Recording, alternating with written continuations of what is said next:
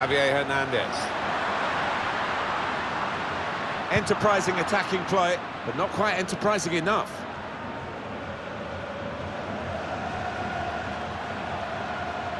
Going forward well. He can put them in front. And he's opened the scoring here.